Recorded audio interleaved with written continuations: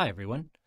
Since the release of MuseScore 4 Beta with Muse Sounds, I've really enjoyed writing music and trying out the different sounds. I've tried to outline some good points and some places that could do with improving. It's human nature to focus on the things that are not quite right or that we wish could be better, but sometimes it's very beneficial to look back down that proverbial mountain and see how far we've climbed.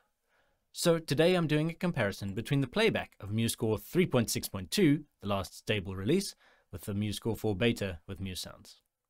As a comparison, I'm using some music I composed for Spitfire Audio's Bridgerton scoring competition. I didn't win, obviously, but it makes great material to compare these two.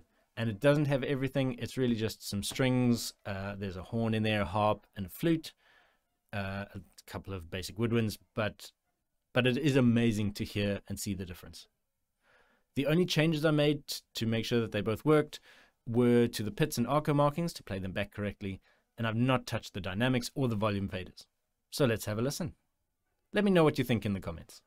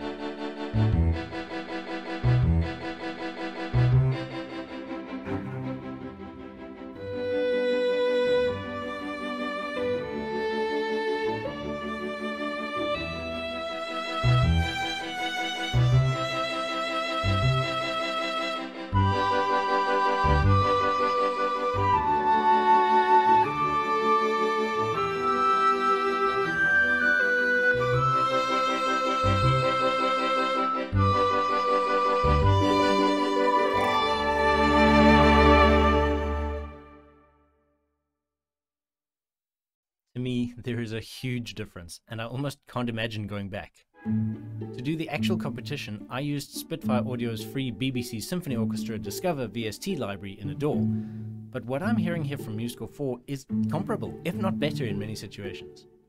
It's certainly more natural for a classically trained musician like myself to write notation than having to do everything with MIDI controllers. So, for a similar situation, I would certainly start in MuseScore 4 and then perhaps add any VSTs if I think I needed them. I particularly love the space that we hear in the Muse sounds, which comes from those natural recordings in a great acoustic venue.